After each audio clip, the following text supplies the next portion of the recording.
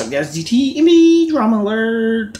Kim Kardashian put out this post that said, I actually remember this day. I was staying with my grandma and grandpa in San Diego, and she got me this dress from the kids' clothing store, and we had to stop and take a picture because that's what grandparents do. It's actually a pretty ugly dress, guys, but they were not rich all their life. I mean, yes, their father had money because he was a lawyer but he wasn't like a super rich at probably at this time in their life. He was getting there. And then they just all of a sudden just all blew up because of Kim's sex tape. We all know that's what happened.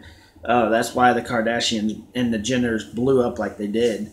But uh, it's actually a pretty cute little picture of Kim Kardashian before all her uh, face change, booty, big booty, and all the crazy stuff that she's done over the last many years. But uh, it's still a cute picture, cute story. What do you guys think about this story?